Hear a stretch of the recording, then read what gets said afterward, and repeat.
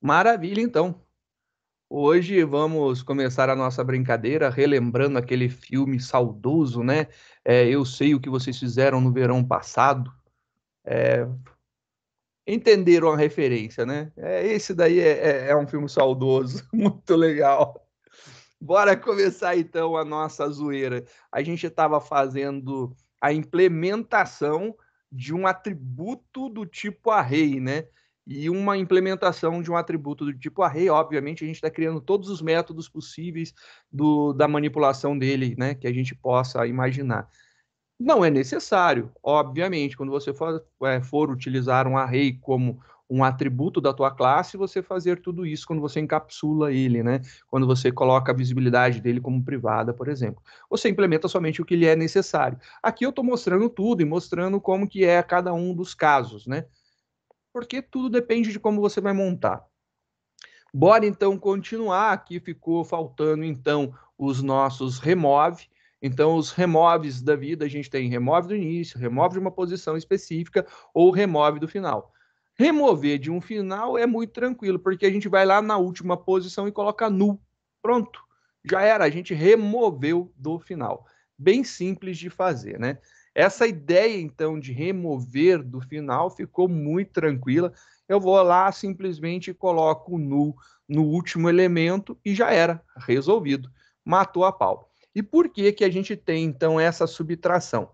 Porque o total de alunos nosso, ele sempre mostra qual será a próxima posição. Então, eu deconto, eu caio na posição última preenchida.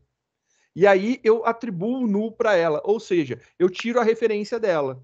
Ela continua sendo a próxima posição que vai ser preenchida e nela, nesse exato momento, não há valor nenhum, está nulo, né? Então, bem bacana de fazer esse esquema daí, bem tranquilo, e é assim que a gente remove um item do final. É bem rápido de se fazer. Agora a gente precisa implementar o remove do início e o remove de uma posição específica. Eu vou fazer agora o remove de uma posição específica. Então a gente vai fazer aqui um public void remove é, como que eu coloquei? Insere na posição, remove da posição. Da posição. E aqui ficou legal, porque eu preciso dizer agora qual que é a posição. Então, a gente já sabe aqui que vai ter um int com a posição. E quando eu falo de posição, a gente já tem algo muito importante. Vamos dar uma olhadinha nos nossos códigos de inserção na posição.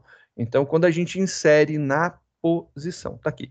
O insere, o adiciona na posição, ele já tem aqui a posição e o que ele vai inserir. O remove, eu simplesmente quero remover o, item de uma determinada posição, né?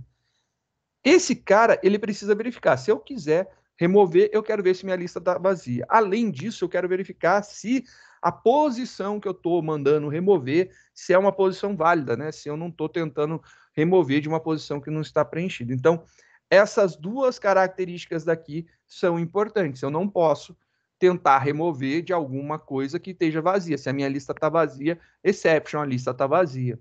Se eu tentar de remover de uma posição que não exista dentro da minha lista, também vou ter que dar um berro aí dizendo que a posição é inválida. Então, essas duas é, tratativas têm que ser respeitadas. Então, a gente vai seguir isso daqui. Então, a gente vai colocar tanto o teste para lista vazia, então vou verificar lá se minha lista é vazia, minha lista está vazia, não pode fazer, Posição inválida, não pode fazer. Então, são as duas verificações. Se minha lista estiver lotada, estiver cheia, perfeito, tá bom, tá cheia, não tem problema nenhum. A gente vai remover, vai ficar sobrando um. Tem mais alguma coisa? A gente vai lidar com o elemento? Não, a gente não vai lidar com o elemento, então não preciso testar o objeto em si. Então, acho que são as duas tratativas de remover da posição. Vamos pegar aqui, eu vou copiar aqui um, uma parte só para a gente é, conversar sobre, né? E desenhando. Então já está aqui, eu vou colocar no início o nosso desenho. Tá aí. Imagina o seguinte, agora a gente quer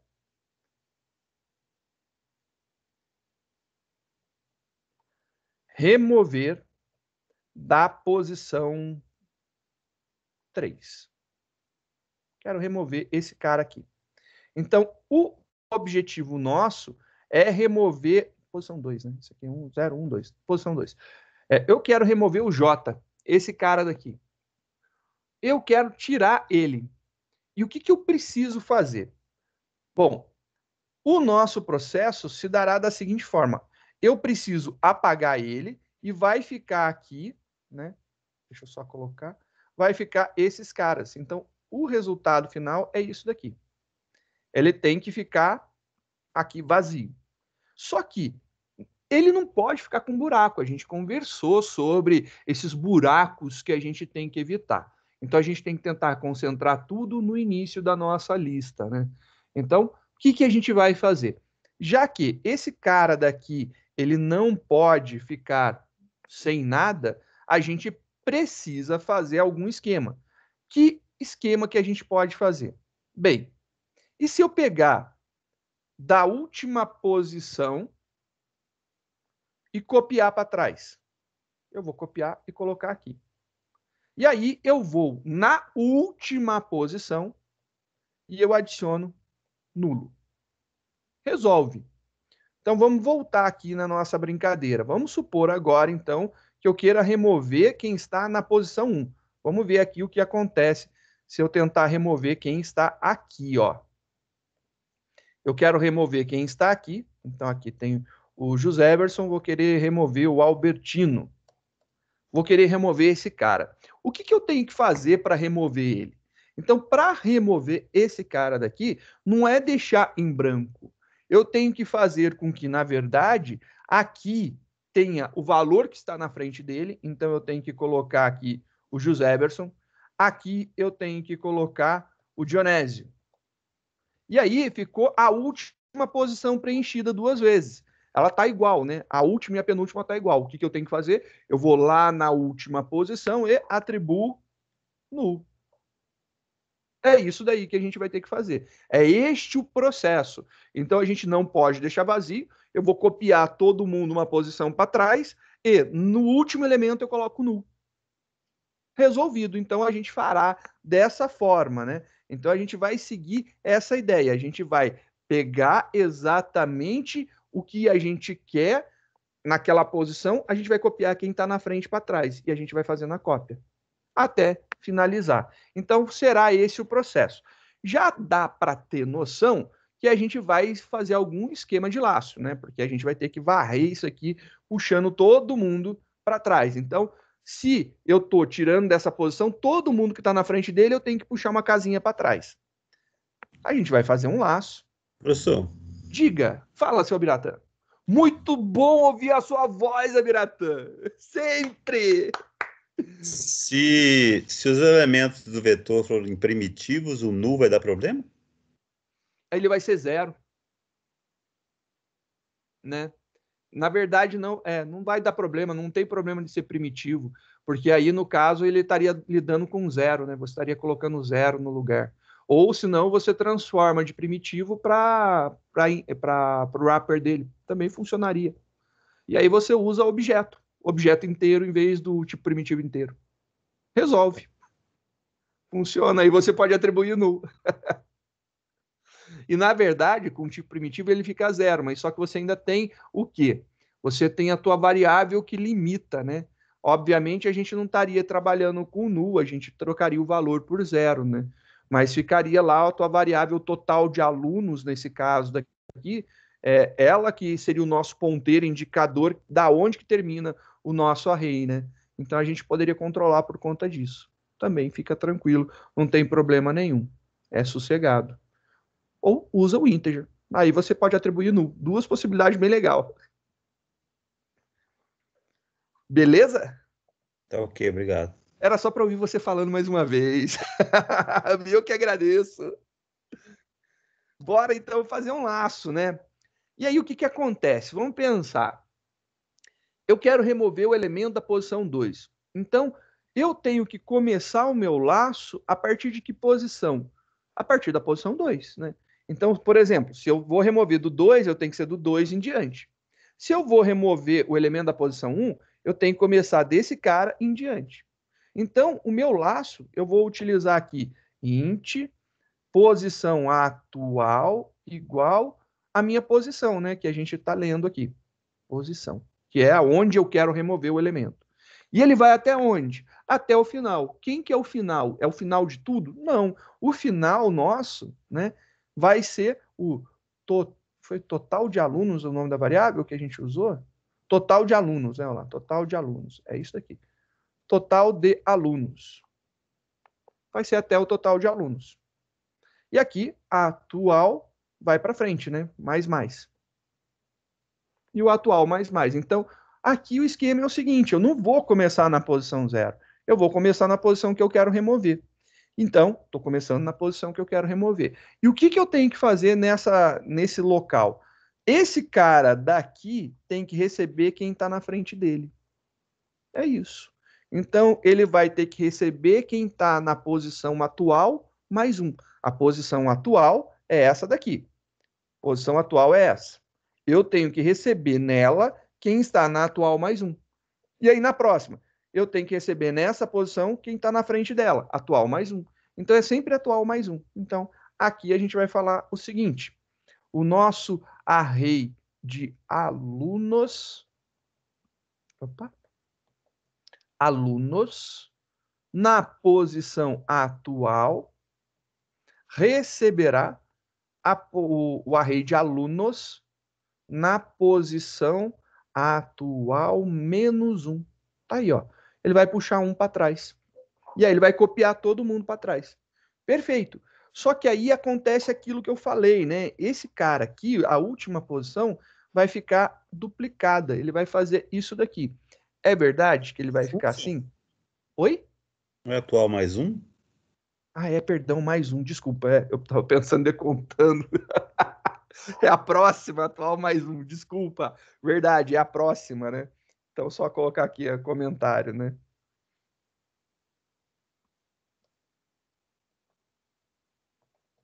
É a próxima.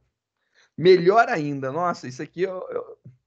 às vezes eu acho que escrever demais não é problema. Eu acho que é importante, né? Int recebe posição a próxima, a, atual a próxima é atual mais um. Uma bobeira só para ficar um pouco mais legível, né? Vai ficar legal. Pronto. Nunca mais me confundo assim, ó a posição atual recebe a próxima posição, né? Então a posição atual recebe a próxima posição. Fica legal que aí você fica com uma legibilidade melhor. Obrigado, Abiratã, como sempre, muito atento, né? E eu, eu ia comer barriga e falar, vai, por que, que tá dando esse negócio errado aqui? Ia ralar pra caramba pra descobrir, né? Mas, legal, ó lá. E aí aqui ele vai copiar. Só que aí ele vai ficar com esse problema, né? Dessa duplicata aqui no final, porque ele vai pegar, chegar no final e vai copiar esse cara daqui. Para garantir que a gente tenha esses valores tudo certinho e que aqui não fique nada errado, ao final desse laço, então quando ele terminar a execução desse laço, eu queria pegar a última posição dele e fazer o seguinte. Então eu queria pegar aqui a última posição e atribuir null para ela. Então, é isso que eu quero fazer. Só que como que eu vou ter essa última posição daqui? Bem, se você olhar nesse laço, a, o, a variável atual chega até a última posição. A última posição é o total menos 1. Então, é isso daí. Você pode fazer total menos 1, que é uma boa também, não tem problema nenhum. Você vai chegar onde quer. E, peraí, total menos 1 Pô, total menos um. Total menos um. A gente já fez algo parecido. Eu colocando nu na última posição. Bem, é isso daqui que a gente tem que fazer, né? Olha lá. A gente já tem aqui. Então, o que, que eu vou fazer? Vou chamar o remove do final aqui. Então, aqui eu vou chamar remove do final. Vou deixar até aqui um comentário, só para a gente não, entender o que está acontecendo, né? Ele está removendo da última posição. Chama lá o remove do final.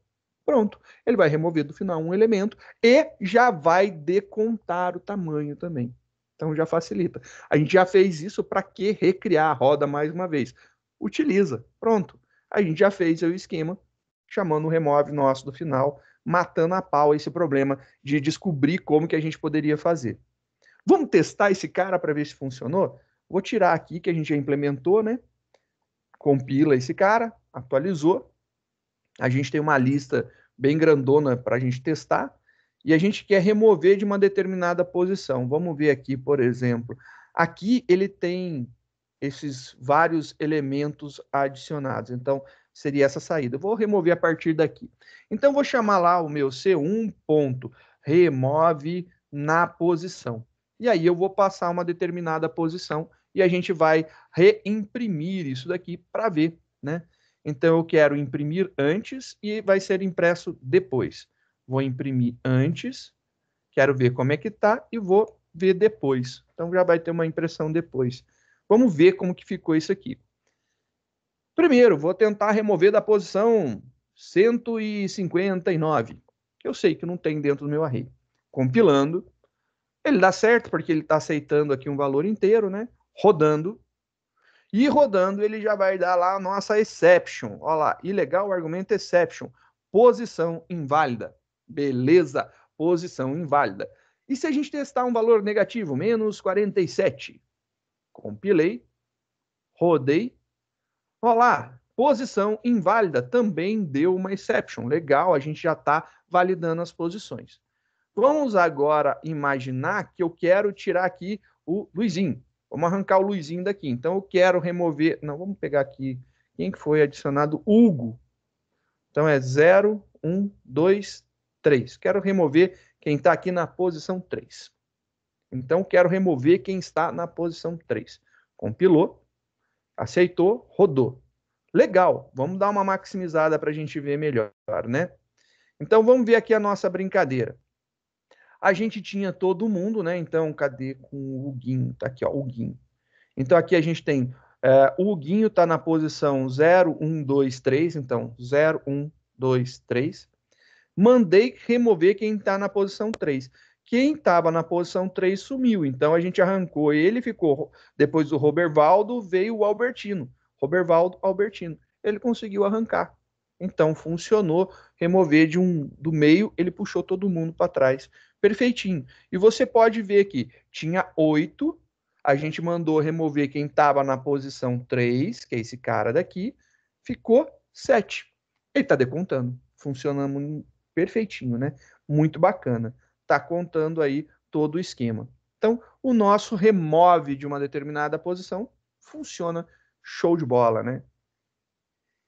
E para remover do começo, né? Para remover do começo, vamos implementar o remove lá do, foi do início, do começo que eu usei? Cadê? Remove do início. Então vai ser o remove do início. Vamos montar esse cara. Public void remove do início. E aí esse cara aqui tem que remover do início. Opa. E como que esse cara aqui tem que, que funcionar? Bem, o remove do início é uma coisa muito clássica, né? Porque eu vou querer remover esse cara. Removendo esse cara, eu tenho que mover todo mundo para trás. Ou seja, o remove do início nada mais é do que o remove na posição zero. Estou removendo quem está lá na posição zero. Acabou. É isso daí. Ele já faz todas as validações e já coloca um null chamando o remove do final. Olha que complexo o negócio. Remove do início, chama o remove da posição, que chama o remove do final. É, aproveitando tudo, né? Então a gente já tem aí todo o esquema. Esse cara compilou, vou mandar ele remover qualquer coisa do início somente para a gente ver. Então, por exemplo, a, ao invés de utilizar aqui remove da posição, vou colocar remove do início. E aí não tem parâmetro de entrada. Ou seja, se você for ver, ele tem que remover o Luizinho agora, né? Então aqui, ó, compilou, executou. Vamos ver. Aqui, ó, o cadê? Tava aqui, tá? O Luizinho tava aqui, tinha oito. A gente mandou remover, ele sumiu. Ficou Miguelito, Robervaldo, Huguinho, Albertino, Zezinho, José Everson e Dionésio. Tá tudo lá bonitinho, ó. Todos os demais ficaram na mesma ordem, então não alteramos nada. A gente só tirou o Luizinho, que estava na primeira posição. Removemos do início. Muito tranquilo. Agora vale a pena a gente comentar algumas coisas, né? Os comentários são importantes. Vamos dar uma olhada nos nossos códigos e começar a analisar algumas coisas interessantes, né? Quando eu mando inserir, vamos nos inserir da vida, né? Vamos lá, inserir, o adiciona em alguma posição. Quando eu mando adicionar no início, eu tenho que abrir um espaço e colocar ele na primeira posição. Isso daí é custoso. É muito custoso. Quando eu pego e mando adicionar numa posição, dependendo da posição que eu fizer, ele vai ter que mover muitos dados para frente. Custa. Então, quando eu mando inserir, o ideal em um array list, numa lista baseada em array, é que eu insira sempre no final. Então, inserir no final é uma coisa super rápida. Por quê? Porque ele vai lá no final, insere, acabou. A mesma coisa do pegar uma posição. Pegar uma posição de um array é muito rápido. Você vai lá pelo índice e você devolve ela, ó, devolve ela naquele, naquela posição. Super, super rápido. Muito bacana esse esquema daqui. Então, eu perdão, eu consigo pegar um elemento de forma rápida inserir no final, pegar um elemento em qualquer uma das posições utilizando um array, é rápido, é rápido. Remover alguém do início é ruim, porque eu tenho que copiar todos os demais elementos, então tem que passar por todo mundo. É custoso fazer isso. De uma posição também é ruim, porque se eu pego uma posição inicial e é um array muito grande, aí tem que copiar todo mundo para trás. Então, é custoso, assim como inserir no início, eu tenho que levar todo mundo uma posição para frente. Isso daí é um problema. Mas remover do final é rápido. Então, quando a gente está lidando com estruturas baseadas em array, tudo que estiver falando com relação a pegar uma determinada posição, ou você inserir no final, ou remover do final, é rápido. E é muito rápido. Ver o tamanho é rápido. Por quê? Porque a gente tem uma variável que controla isso. Você não precisa passar elemento por elemento para contar. Então, essas saídas são rápidas. Então, inserir no final, pegar um elemento qualquer, remover do final, tudo isso é rápido. Então, a inserção, normalmente a gente faz no final mesmo, é rápida. Quando você pega, faz a adição no final, ou a remoção do final, ou pegar qualquer item de qualquer posição, isso é extremamente rápido. É bem legal você guardar essa informação. E lembre-se, ele não é performático quando você quer inserir novos elementos no início. No início ele não é legal. Não é legal. Remover do início também não é legal. Então, qualquer coisa envolvendo manipulação de dados no início do array, que seja no começo dele, não é performático no final dele é muito performático. Pegar qualquer elemento é super rápido. Mas a gente vai implementar agora um método chamado contém. E o contém é um problema, porque ele vai ter que verificar se um elemento está dentro do teu array. E aí o que, que acontece? Você tem que passar por todo mundo. Então o contém é ruim. Ele é, é lento. O contém ele sempre vai ser ruim, por incrível que pareça, né? A gente tem que testar todos os elementos. Então, esse cara daqui já foi implementado. Vamos implementar o contém. Então, vamos fazer aqui um public. Esse cara daqui, por enquanto, não sei o que ele vai devolver. Contém. E eu quero verificar se ele contém uh, um objeto. E esse objeto que a gente vai verificar é do tipo aluno, né? Então, aluno, aluno. Eu quero verificar se tem um aluno aqui dentro. E o contém, ele vai devolver que tipo de informação? Bem, contém pode devolver a seguinte informação. O contém, ele não é um, um pegar, né? Ele é simplesmente uma, uma função que verifica a existência de. E eu só quero saber se existe, e não em que posição que está. Se eu quiser devolver a informação de que posição está, esse cara daqui tem que ser inteiro, né? Então, o contém devolve não o número de ocorrências, mas sim aonde é, é esse elemento que você está procurando é, se encontra. Mas esse, esse negócio contém dessa forma é esquisito, né? Porque o que, que eu imagino num contém? Eu pergunto para você, para você assim, olha, fulano de tal estuda na sua sala, aí você não vai falar qual que é a posição dele na lista de chamada. Sim, número 10. Você vai falar número 10. Não.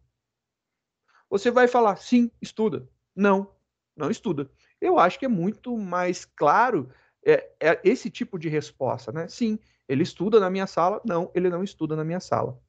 Dessa forma, eu acredito que um booleano resolva, porque aí a gente está utilizando aqui um sim, contém esse aluno, já existe esse aluno aqui dentro.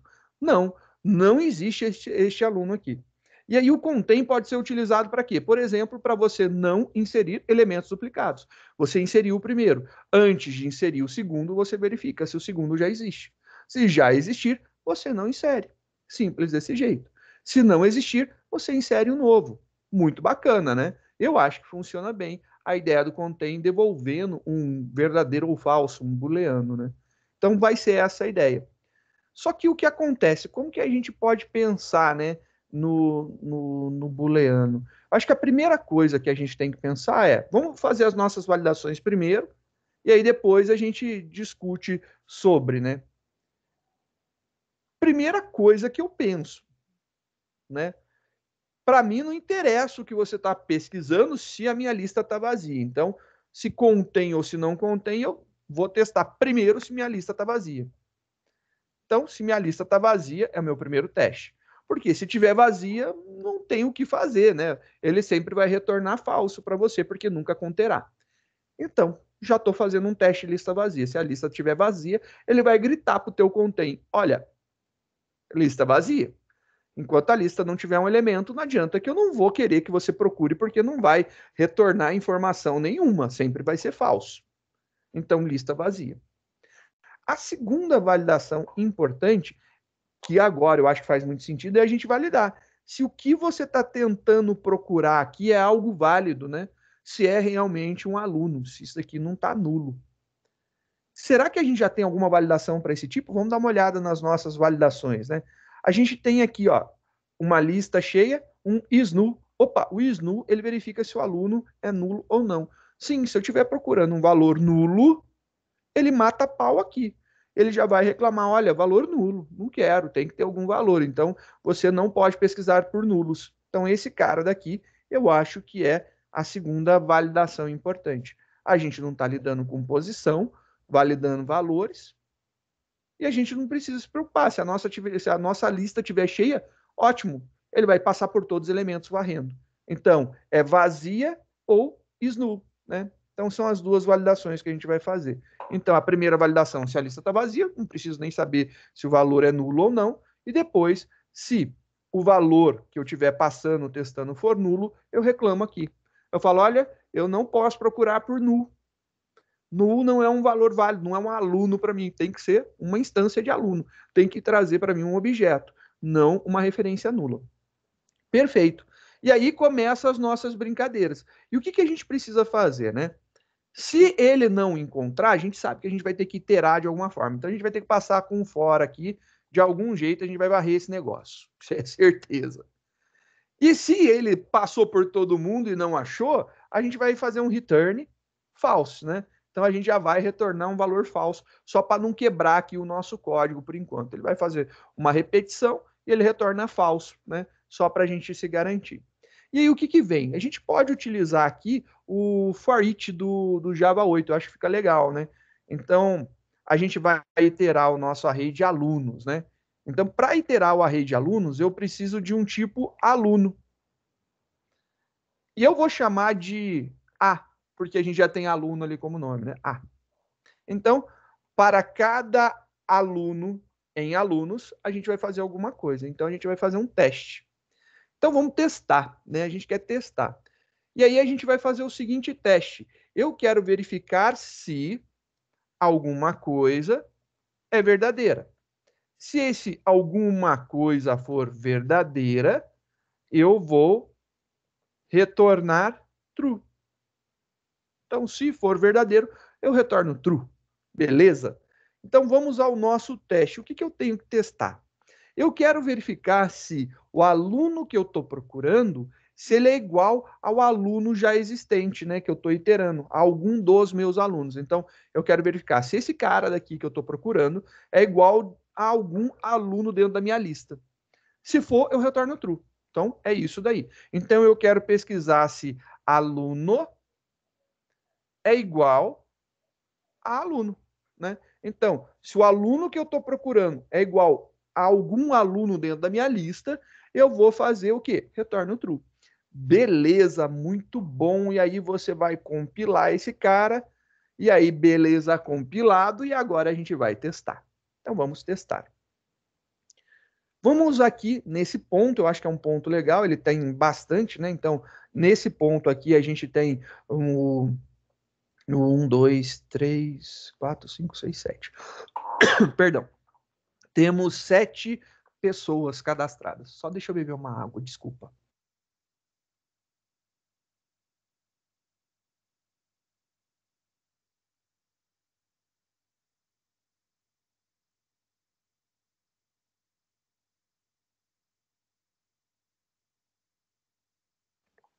bico molhado, continuemos, né? Aqui eu já tenho sete valores e eu quero ver se algum desses valores existe já. Então vamos pegar aqui um para a gente testar. Eu vou pegar aqui o GIN, beleza? O GIN. E eu vou criar ele em forma de objeto só para a gente poder testar, né? Para ver aqui, ó. Eu vou pegar esse cara daqui, eu vou criar um objeto só para a gente poder manipular mais fácil, né? Então esse cara é do tipo aluno, vou chamar ele de Uguinho, Ug, e esse cara daqui é igual a isso daqui. E aqui eu vou adicionar o guinho. Não preciso mais adicionar dessa forma. Vou adicionar o guinho aqui. Beleza? Só para adicionar. Não mudou nada, né? O processo vai ser o mesmo aqui. Agora, eu quero verificar se é igual. Então, eu tenho um teste que eu posso fazer. O teste que eu vou fazer é o contém. Então, contém. E o contém, ele vai receber alguma coisa, então ele vai receber um aluno. Eu quero verificar se o Guinho já existe dentro da minha lista. E aí eu vou mandar imprimir esse cara daqui. Então vou mandar imprimir esse cara daqui. Pegar alguma coisa assim.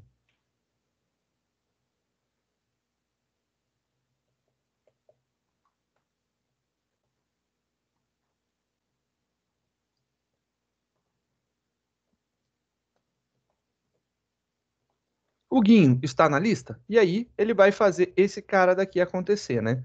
Então, essa grande brincadeira daqui, ele vai perguntar: o Guinho está na lista? E ele vai responder sim ou não, true ou false, né? Então, vamos ver o que, que acontece aqui e vamos ver se o nosso esquema de pesquisa está funcionando. Então, eu compilei, rodei, vamos maximizar esse cara aqui para ler, vamos voltar aqui, Cadê? O Guinho está na lista? True. Beleza, o Guinho está na lista. Joia, ó o Guinho lá. Funcionou. E aí você fala, beleza, funcionou, tá tudo certo, bora para o próximo e já era. Não, vamos fazer mais testes, né? Eu acho que testar faz parte. Eu vou dar só um enter aqui, dar uns tabs para ficar aqui para dentro. Vamos testar aqui esse cara. O que, que eu vou fazer? Ao invés de chamar direto o nosso objeto, eu vou chamar uma ele de forma anônima. E se eu estivesse pesquisando assim por new aluno, é, e aqui seja entre parênteses o GIN. Vou pesquisar pelo o, GIN. Então, o GIN já foi adicionado e o GIN foi testado aqui. A gente quer verificar. Então, esse cara deve de começar a retornar true para mim da mesma forma. Deve continuar retornando true. Só que aí eu compilo, eu rodo, eu maximizo para a gente ler melhor e a gente roda aqui para cima e ele fala: "O Guinho está na lista?" Ele responde: "Não, não está." Ué, mas eu passei o Guinho. Sim, e aí cai naquela brincadeira que eu falo com vocês desde o semestre passado, quando a gente, na verdade, desde do semestre retrasado, quando a gente estava em LP. Quando a gente estava lidando com string, eu falava: string não pode ser comparado com igual igual.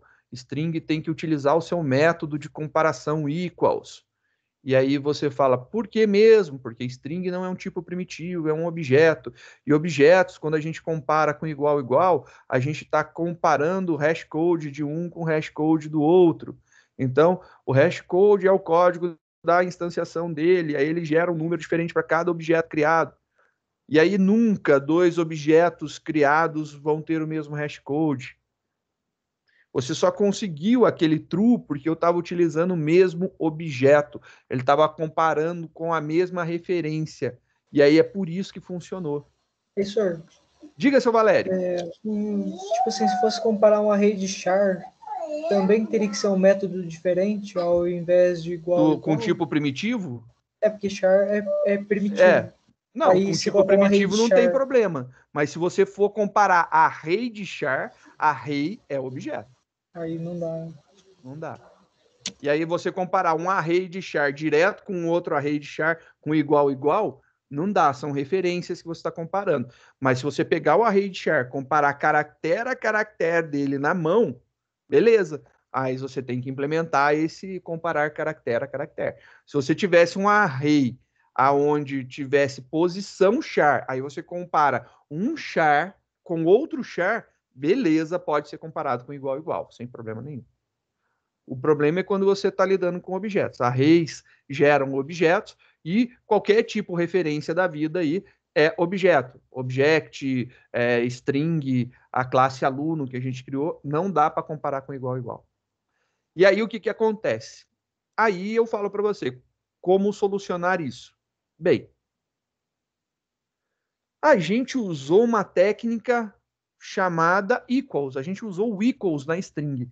Será que se eu chegasse aqui, ao invés de falar que é igual igual, eu colocasse um, sei lá, um ponto equals.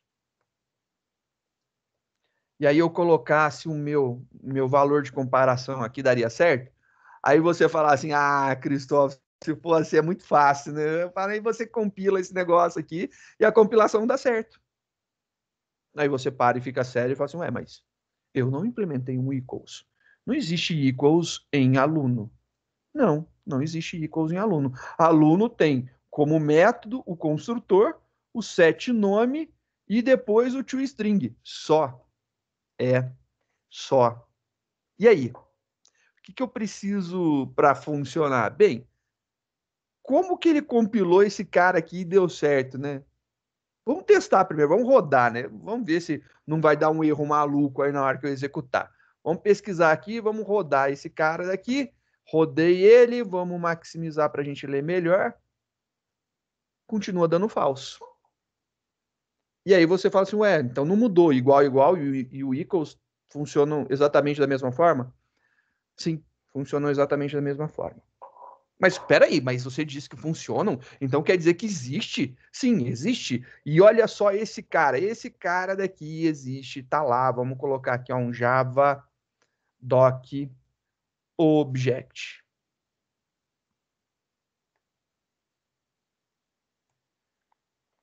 E aí a gente vai olhar a documentação do, do, do object. Vamos ver lá o object. O object ele tem um método clone e um método equals, que ele vai indicar se um objeto é igual ao outro. E como que o equals funciona? Clica sobre ele, você vai ver lá a implementação do equals.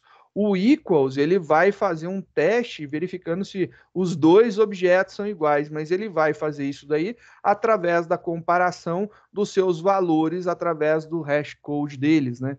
E aí ele vai cair na mesma coisa do igual igual. É, exatamente isso. Ele vai cair como se fosse igual igual. Aí você fala para mim, tá, então por que, que você tá falando desse negócio aí pra gente se não resolve birosca nenhuma? Bem, porque se eu tô podendo acessar esse cara daqui, E a gente tem um outro coleguinha que a gente já mexeu com ele, né? Olha só, a gente já usou um toString que estava lá no object. E a gente usou uma técnica fabulosa chamada polimorfismo. E aí a gente fez uma escrita modificada do conteúdo do método, né? A gente mudou a forma com que o método era escrito. Por que, que eu não posso vir aqui e fazer a mesma coisa? Arroba override e eu escrevo lá um meu public boolean equals e aí eu escrevo meu método equals que vai retornar para a gente return. Vou colocar aqui por enquanto um false né? Só para a gente ver só para não quebrar. Eu posso fazer isso né? Posso só que se eu gerar esse cara daqui se eu tentar rodar esse cara ele vai dar erro e aí você fala assim ah claro Estou viajando. Por quê? Porque eu preciso comparar com o aluno. Preciso ver se um aluno é igual a outro aluno. Estou colocando um return false aqui só para compilar, né? Tava faltando um parâmetro, aí você compila e ainda continua dando erro. E por que que dá erro? Porque se você olhar aqui na documentação, se você olhar no equals, ele é do tipo object. E não é do tipo aluno. E para você fazer essa implementação de sobreescrita, você sobreescrever, você é, modificar a parte interna do código, né? fazer o polimorfismo do método, ele precisa ter exatamente a mesma assinatura. E aqui você está modificando a assinatura. Então aqui não pode ser aluno, aqui tem que ser object. OBJ. Pode ser qualquer nome aqui. Eu vou colocar é, obj porque fica menorzinho. Se eu compilar esse cara daqui, compilei esse cara aqui, funcionou. Se eu pegar e mudar, sei lá, eu vou colocar esse cara aqui para true. Compilar, funcionou. Eu posso modificar da forma que eu quiser. Agora, o que eu escrever ali é lei, é a minha lei, e eu estou mandando agora. E é isso que eu queria. E agora vamos fazer o teste. Vamos rodar o nosso programa agora para ver. Olha que belezinha que ficou o nosso programa. Olha que legal. Agora, você comparando se o Guinho está na lista true. Verdade, o Guinho está na lista. É, mas você pode pesquisar se, sei lá, se Salomão está na lista. Vamos lá procurar o Salomão. Compilei, rodei e olha lá que legal. Ele vai ter que retornar para a gente que não, não está. Mas peraí, ele retornou que o Salomão está na lista. É, por quê? Porque eu estou falando que sempre vai dar true. Independente do que eu pesquise aqui, vai dar true como resposta no meu método equals. É. É para dar true mesmo, né? Então, aqui eu vou deixar o GIM, porque a gente está pesquisando, mas isso daqui tem que ser implementado, a gente tem que fazer essa implementação. Já que eu estou lidando com aluno, eu vou criar aqui aluno, já vou fazer o objeto para a gente, né?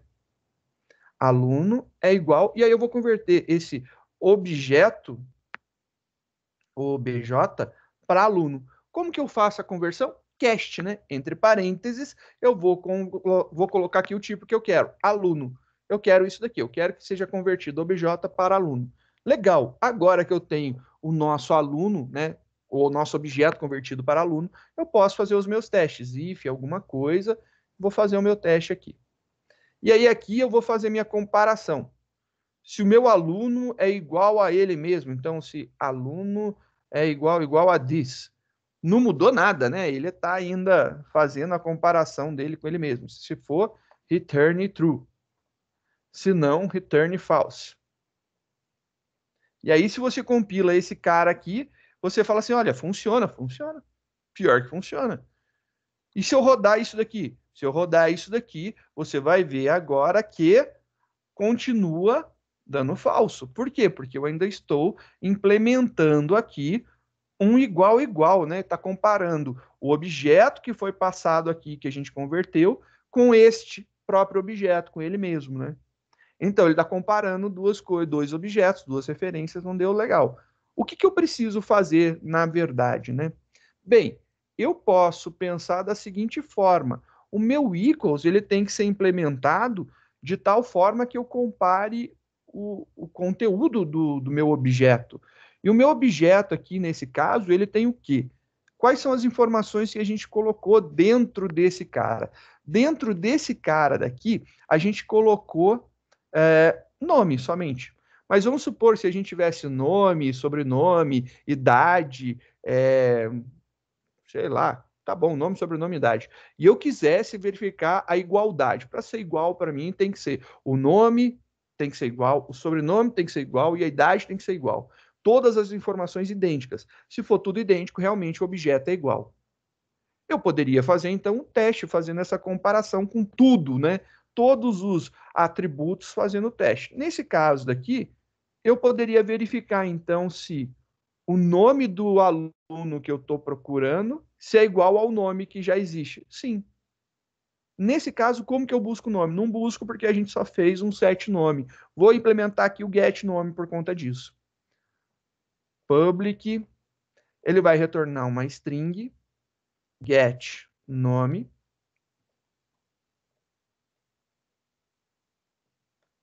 E esse cara daqui, return nome. Tá lá, vai retornar o um nome aqui. Então, nosso método para retornar nome já existe. Se já existe, eu posso pegar e falar aqui, aluno.get nome, opa, vou fazer a comparação contrária, eu vou pesquisar aqui se o nome é igual ao aluno.get nome. E aí você fala, ah, agora sim tá legal, porque se os nomes foram, forem iguais. Não, não tá igual, não tá bom, porque ainda nome é uma string, strings são objetos. Eu não posso comparar com igual igual, tem que fazer comparação através do método de comparação, que é o equals. Então a gente vai colocar lá ponto equals, e aí, sim, comparo esse cara com esse daqui. Aí funciona. Agora sim, estou fazendo a comparação de equals. Compilou. Funcionou. Perfeito, legal. E agora, o que, que a gente vai fazer? A gente vai fazer o seguinte, vamos testar esse cara. Agora, se eu fizer esse tipo de comparação, esse cara tem que me retornar true, né? Então, vou rodar agora, só sem compilar nada, vou rodar, e ele já vai ter que pegar a classe atualizada. Então, eu tenho que devolver true. Então, vamos dar uma olhada aqui. E olha só aqui, ó, vou maximizar para você ver. Deu um null pointer exception. Null pointer exception. Aluno, método equals, linha 32. Caraca, vamos dar uma olhada o que, que aconteceu aqui. Vamos lá, na linha 32. Exatamente na hora que ele foi comparar, deu um null point exception. E aí você tem um problema. Que o problema, na verdade, não está aqui, o problema está lá na frente. Vamos ver aqui o que está acontecendo, né? Ele foi aqui, vamos pegar a pilha toda de execução. Linha 52, foi exatamente aqui, né? Linha 52, ele chamou o método contém. Beleza? Método contém. Aí, ele veio é, e chamou o curso ponto. Linha 142, vamos lá. Curso ponto. E ele chamou essa comparação. Só que quando ele chegou nessa comparação daqui, o que, que aconteceu?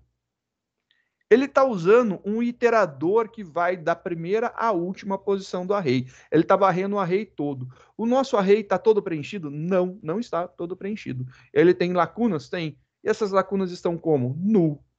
E aí, o que está acontecendo? Você está passando aqui a comparação com nulo. Você está verificando se uma coisa é igual a nulo. Quando você faz uma coisa igual a nulo, vai dar chabu.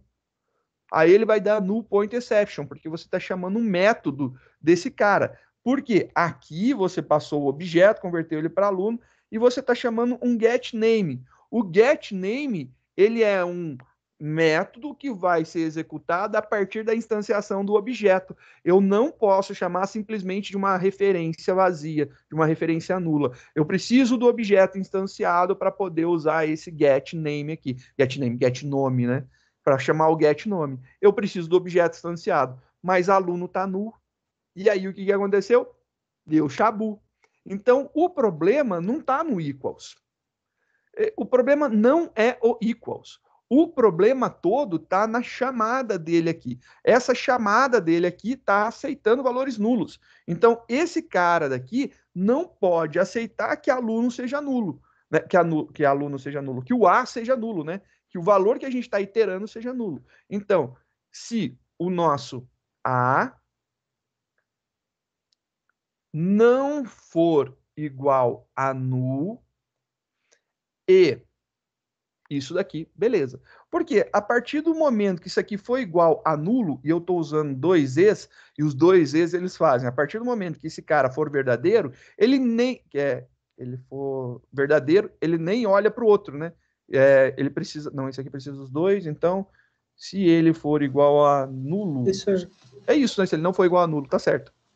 Diga, Valério. é, assim, esse ponto eu já teria feito um, um método para fazer o string virar um método, um array de char e comparar os chars.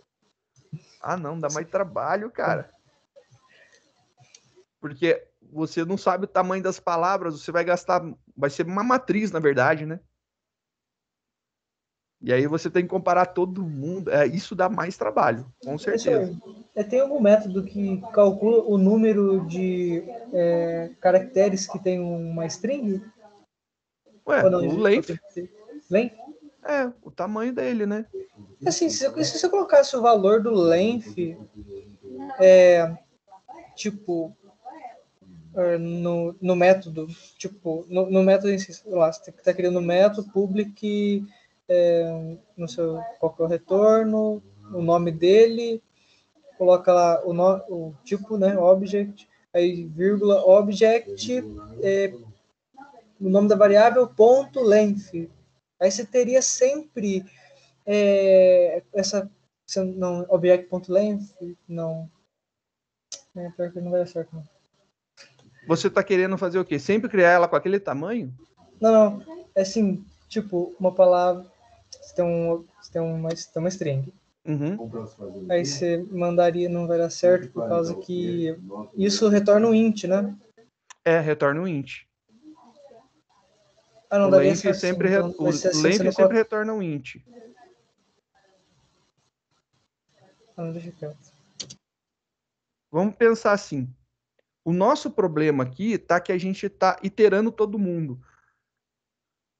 E legal, essa solução aqui funciona. Então, se o, o nome não é nulo, aí ele testa. Se esse cara daqui já der falso, ele já rompe aqui o nosso laço, né? Porque a gente está usando um E inteligente. E se eu atualizar esse cara agora, funciona. Se você rodar agora a nossa aplicação, beleza, ele não tem mais aquela exception, né? E agora, olha só que legal. O GIN, ele tá dando lá que não existe na nossa lista. Deixa eu ver o que, que a gente está pesquisando. É o GIN, deixa eu ver se eu escrevi igual, né? O H-U maiúsculo, né? Só para não ter problema. Tá igual. Deixa eu verificar aqui, compilou. Eu não sei se eu não, não tinha compilado alguma coisa, vamos ver agora. Agora tá certo. Tava faltando uma compilada nesse cara daqui. Tá lá, ó. Ele tá retornando true. Quer dizer que já existe na nossa lista.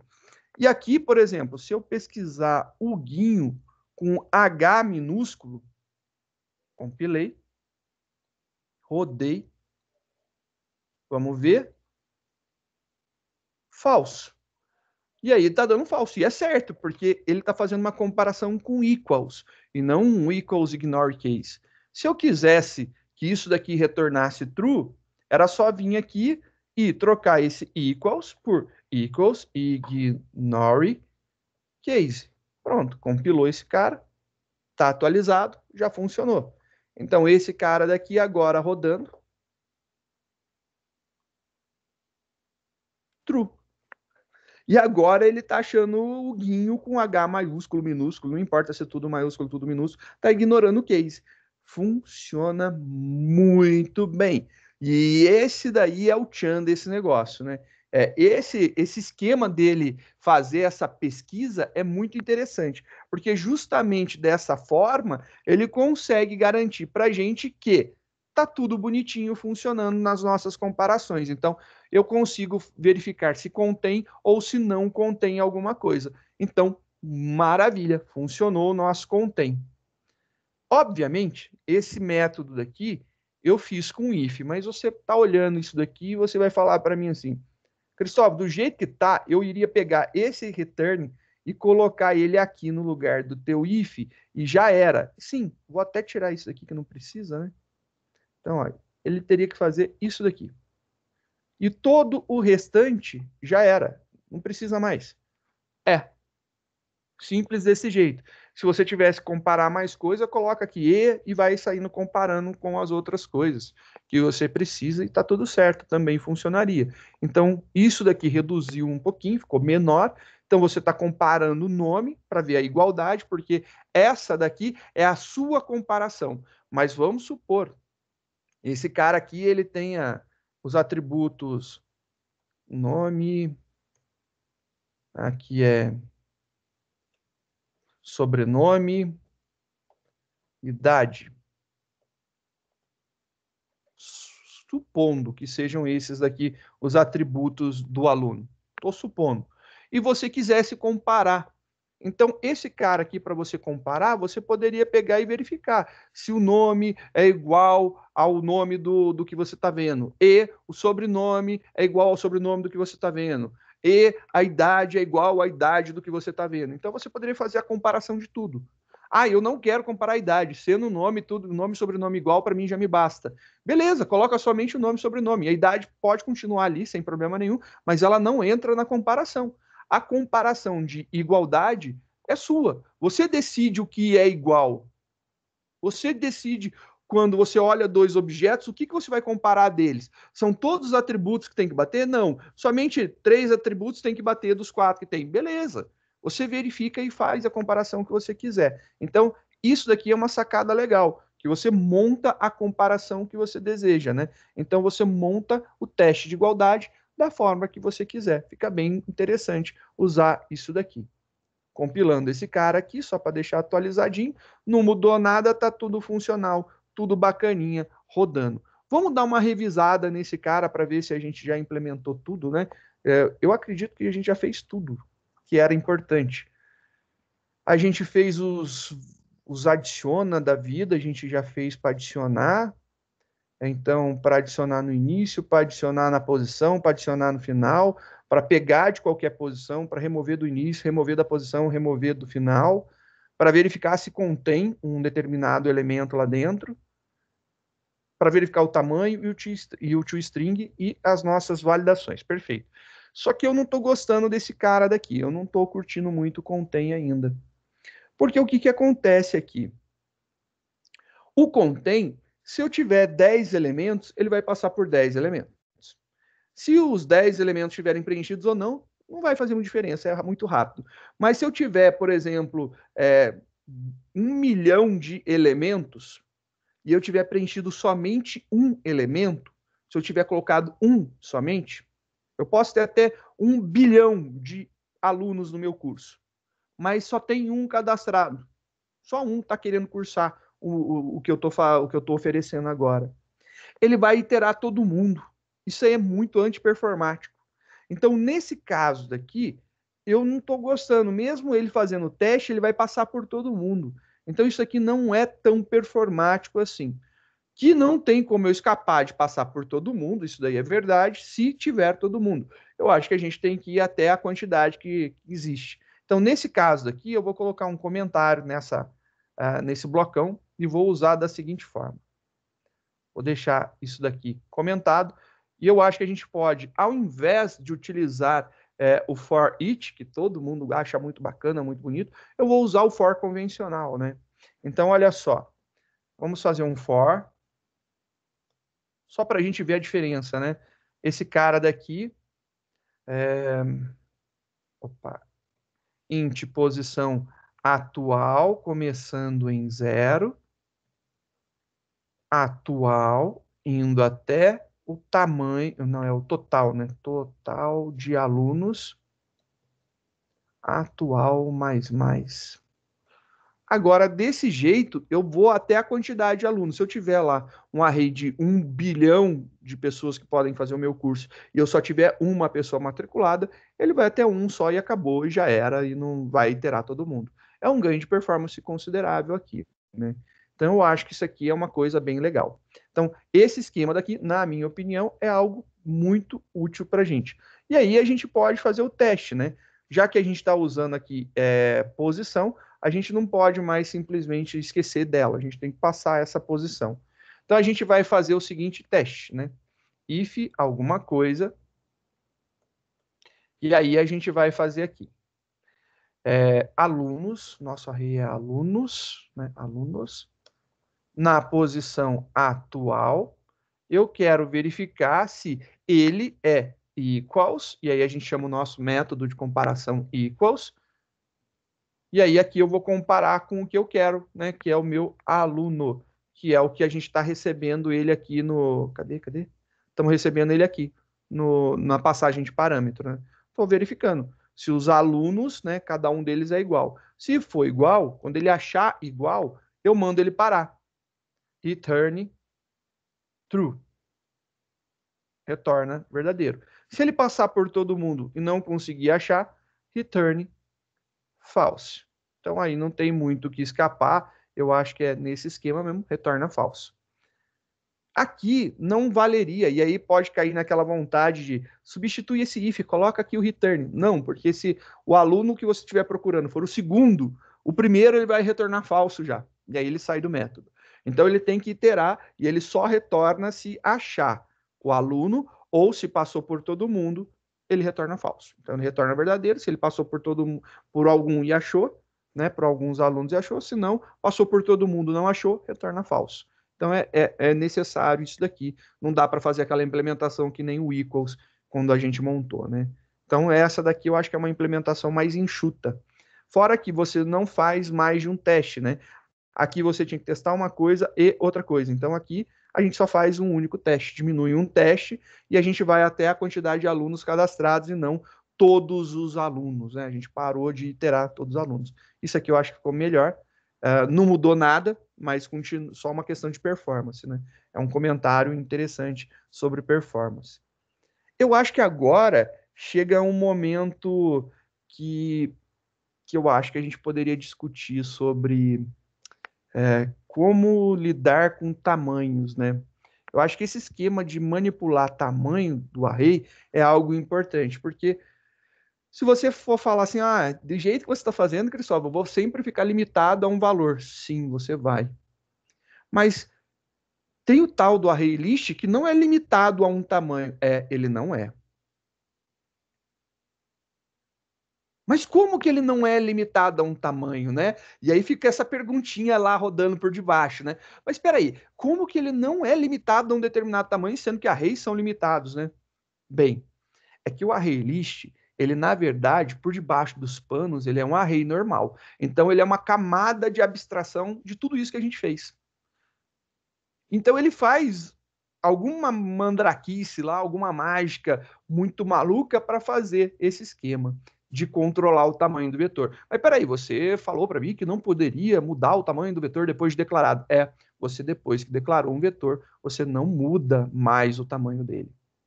Isso eu falei, isso é verdade. E aí você fala para mim assim, tá, mas você sabe como que ele faz essa mágica? E aí eu falo para você, sei, ele usa orientação a objetos. E aí você continua com uma baita de uma interrogação, né? Ora bolas, eu estou estudando orientação objeto e não faço a mínima ideia de como mudar o tamanho do vetor. É, é porque você não pensou orientado objeto. Então a gente tem que pensar orientado objeto. Então vamos fazer um esquema para a gente é, verificar o tamanho, gerenciar o tamanho, né? Verificar o tamanho, testar o tamanho. Vou fazer aqui um método, ele é privado, né? Não vai precisar ninguém ver, private. Esse cara daqui, ele não precisa retornar nada. E eu vou chamar ele de gerencia tamanho. Acho que eu já usei isso alguma vez na minha vida, gerencia tamanho. Então, devo ter usado esse nome aqui, porque é muito similar a alguma coisa, para mim tá, tá, tá soando bem. Então, vou usar aqui o gerencia tamanho. E o que, que o gerencia tamanho vai fazer? O gerencia tamanho, ele tem que verificar uma coisa. Ele tem que verificar qual que é o tamanho do meu array. Por quê? Porque quando chegar no tamanho máximo do meu array, eu devo de aumentar ele. E aí você vai fazer assim, peraí, peraí, peraí, que eu não estou entendendo. Como assim aumentar? É, eu disse que, que existe uma forma mágica de se fazer, através da orientação a objetos. Você não redimensiona o objeto, você cria um novo objeto. Então, vamos fazer esse esquema. E a gente vai fazer isso aqui acontecer da seguinte forma. A gente vai testar agora, eu acho que esse teste é legal. é se o total de alunos, é, se ele é igual ao tamanho do array. Se você chegou no total de alunos igual ao tamanho do array, o array está lotado. Então, alunos, alunos, ponto, length. Então, é uma propriedade porque é um array. Então, é isso daqui. E aí, assim, lembre-se, o total de alunos sempre aponta para a próxima posição. Quando ele chega no tamanho do vetor, quer dizer então que é de zero menor que o tamanho, ele está apontando para a próxima posição que não pode ser. Ele está apontando para fora dos limites, vai dar array index out of bounds, se você tentar inserir. Então, é nesse momento que a gente tem que agir. E é aqui que a gente vai fazer. E o que, que a gente vai fazer aqui? Qual que é a grande sacada e artimanha do negócio? Bom, a gente vai criar aqui um novo array. E eu acho que é bem interessante. Vamos criar um novo array. Então, um array de aluno, né? Eu vou chamar aqui novo array que a gente criou, nossa nova listagem de aluno. E esse cara aqui vai ser igual ao novo, vai ser o novo aluno, e agora eu vou passar o tamanho, né? E qual o tamanho que eu vou usar aqui, né? O que, que eu vou colocar de tamanho? Bem, existe uma, uma, um estudo que foi feito que verificou-se que o ideal, quando você está crescendo, que você dobre de tamanho. Então, por exemplo, se você começou lá com dois elementos, a próxima vez você já deixa quatro, depois oito, depois 16, você vai dobrando de tamanho, porque é mais performático isso daí. Porque o que acontece assim, quando ele é pequeno, ele é rápido para você copiar ele, não é algo que demore. Mas quando ele é grande, ele demora muito tempo para você copiar os elementos, para ele ir dobrando de tamanho e começa a ficar antiperformático, né? Não fica interessante. Então, por conta disso, usar o esquema de ir dobrando de tamanho é legal. Então, como que eu dobro de tamanho? Eu vou pegar aqui o tamanho do meu array antigo. Então, cadê aqui o tamanho do meu array antigo? Vezes 2. Dobrei de tamanho. Declarei um array novo, array novo, com o dobro do tamanho do vetor antigo, do array antigo. Literalmente o dobro do tamanho. Agora que eu fiz isso, eu preciso fazer a cópia dos elementos. Isso daí a gente não escapará. Então, a gente vai iterar esse cara e essa iteração não tem o que fazer. A gente vai fazer um forzinho lá, bonitinho, e vamos passar por todo mundo. Então, esse cara aqui, vamos ver o que, que vai acontecer. int posição atual começando atual começando em zero. Então, tá lá na primeira posição. Eu vou até atual menor que alunos, alunos, alunos ponto, seu tamanho, atual, mais mais. Porque é o array que está cheio e é o array que me interessa. O outro tem é maior, se eu passar eu vou pegar posições inválidas. Então, o novo array na posição atual receberá o antigo, que se chama alunos, na posição atual também. Então, ele vai copiar exatamente os elementos que estão nas mesmas posições. Então, posição 1, posição 1, posição 10, posição 10, posição 50, posição... Ele vai copiar exatamente os mesmos elementos nas mesmas posições. E é isso que ele vai fazer. E ele vai iterar tudo e vai copiar tudo. Então, o novo vai ficar exatamente igual ao aluno.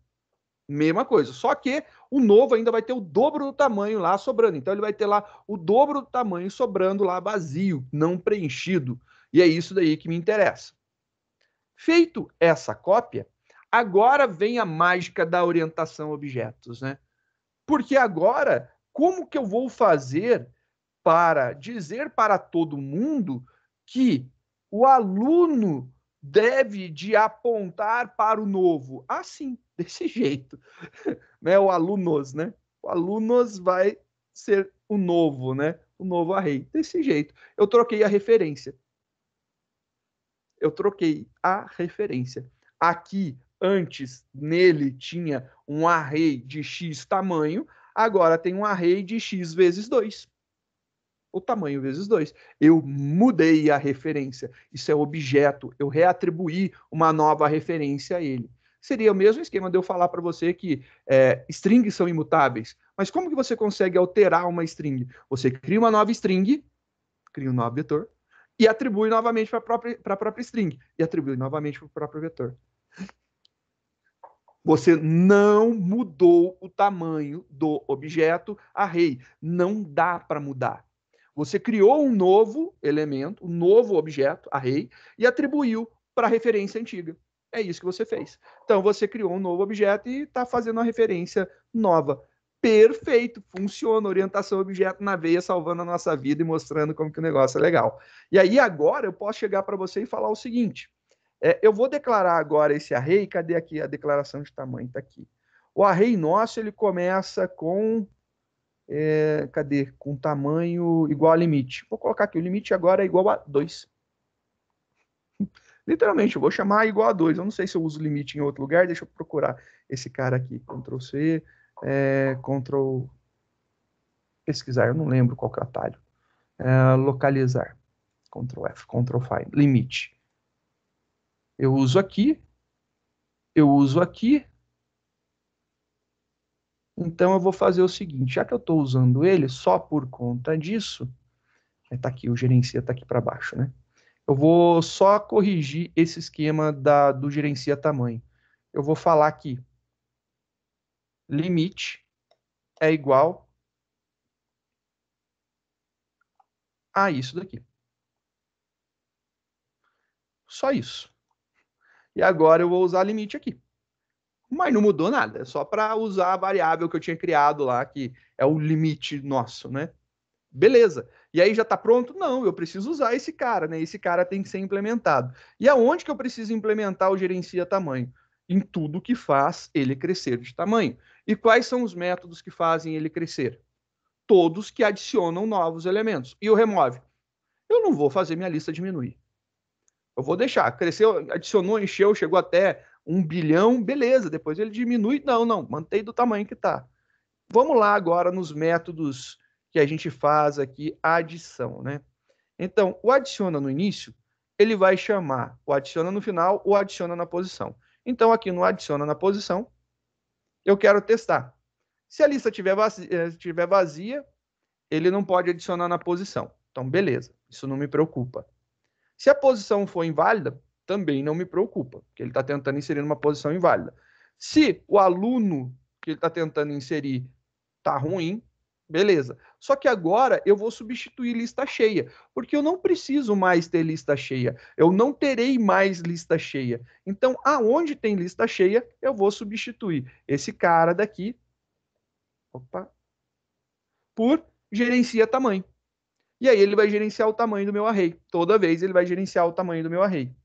E aí, beleza. Esse cara aqui funcionará muito bem. Lista cheia, vou chamar aqui o gerencia tamanho. Acredito que seja somente esses dois aqui que são os que me interessam, né? Feito isso, já era. Esse cara está funcionando. Vamos fazer um teste que funcione bacana, né? Eu vou criar um método aqui, é, um toString. Vamos ver aqui o nosso. Cadê? toString. O toString mostra o curso e o e, e o o, os alunos matriculados no curso, né? Eu vou imprimir aqui uma informação antes. Aqui eu quero imprimir uma informaçãozinha. Vai ficar um pouco repetitivo, mas eu acho que vai ficar legal. Aqui eu quero que seja alguma coisa que tenha aqui também uma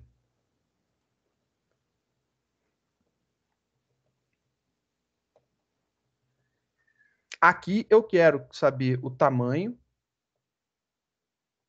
é um método, né? O tamanho é um método, tamanho é um método, esse cara.